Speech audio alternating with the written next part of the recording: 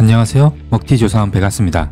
이번에 말씀을 드린 먹튀 사이트는 위스키라는 곳입니다. 사건이 발생한 날은 3월 11일이고 며칠 동안 충전 꼬박꼬박 잘하면서 쓰고 있었고 농구 경기 다 보고 드디어 당첨이 됐다 하고 환전을 하려고 하니까 이미 아이디는 잘려 있네요. 300만 원도 안 되는 돈에 미련은 없지만 이용하시는 분들 먹튀 당하시지 말라고 글을 올려드립니다. 진짜 계약질들이에요. 펠레 문의 주세요 하고 아이디 보내주면 아무런 근거도 없이 양빵이라서 잘렸다 하고 끝입니다. 솔직히 사이트 입장에서 그냥 양빵이라고 하는 말은 너무 뻔하잖아요. 서로 욕박다가 끝났어요. 진짜 개쓰레기 사이트입니다. 절대 이용하지 마세요. 충전만 있고 환전하면 탈퇴시키는 쓰레기입니다. 안전한 곳을 찾으셔야 하고요. 찾기 힘들다면 저희에게 문의 주세요.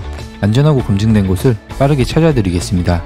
다른 사이트에서 먹튀를 당하신 일이 있으시다면 위에 보시는 바와 같이 양식을 작성하셔서 저희 베가스 커뮤니티로 먹튀 제보를 하시면 됩니다.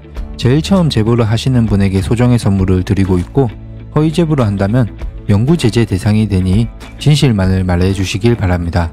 허위 제보로 인해 잘 운영하고 있는 업체들에게 상처를 주지 마세요. 지금까지 베가스였습니다. 감사합니다.